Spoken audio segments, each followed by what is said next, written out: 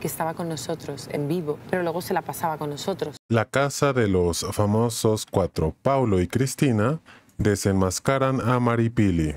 Mencionan que esta mujer nunca fue realmente sincera y tampoco nunca tuvo el valor de aceptar en una gala en vivo que estaba jugando con ellos. De cierta manera la consideran mal agradecida precisamente porque seguramente la excusa de Maripili será que ella nunca les pidió ese favor y aparte ella nunca les dijo que jugaba con ellos.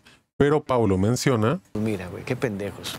Hubiésemos sabido eso, güey, te dejamos en la pinche calle de la amargura llorando desamparada. y, que, te, que abandonas el reality. Todo esto lo menciono porque dicen ellos que Maripili incluso estuvo casi a punto de salir de la competencia, pero fueron ellos, el equipo del fuego, quienes le mencionaron que no lo hiciera y una y otra vez prácticamente la levantaron del suelo. Por esa cuestión, aunque como tal nunca le hayan dicho que Maripili era del fuego, de cierta manera, sin decirlo, esto ya se sabía, porque si no hubiera formado equipo con ellos, simplemente la hubieran dejado morir sola. Nunca dije que estaba con ustedes, te estás estrellando porque una vez regresamos a lo mismo, es nunca le des tantas cosas a las personas y al fin de cuentas te van a decir que nunca te lo pidieron. En pocas palabras, que es una mujer malagradecida, que realmente no tiene ni un poco de empatía por ellos y que tampoco tiene respeto.